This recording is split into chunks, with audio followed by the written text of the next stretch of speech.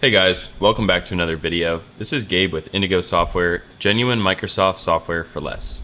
In today's video, we're going to show you guys how to back up your Microsoft Outlook data, as well as how to migrate the data into your new computer or new version of Office or whatever the case may be.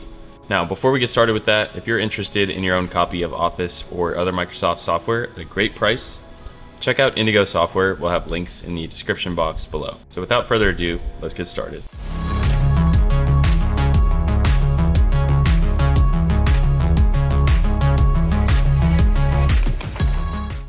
All right, so I'm gonna head into Outlook and it's a fairly simple process to actually save a backup file of this data. So if we go to the File tab, we're gonna go over to Open and Export. Next step is to click the Import slash Export tab. And then here we have some options. The one we're gonna wanna use in this case is Export to a file.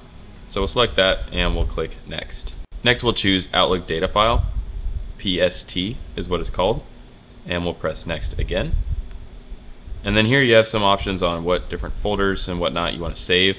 I'm just going to leave this as default and we're going to carry everything over. So I'll press next again. Here I'm going to put allow duplicate items to be created.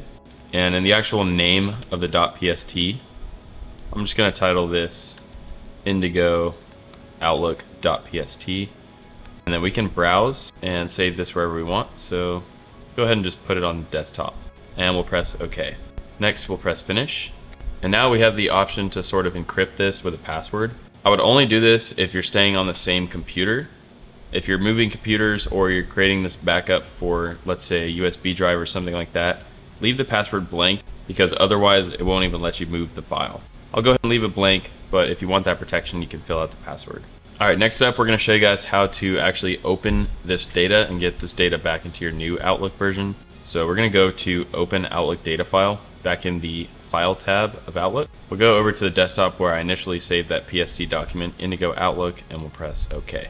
And now at this point, you'll be good to go. You'll have imported that PST, and you can see how it's showing up here as Outlook data file. And that's signaling to us that the PST has successfully been imported to Outlook.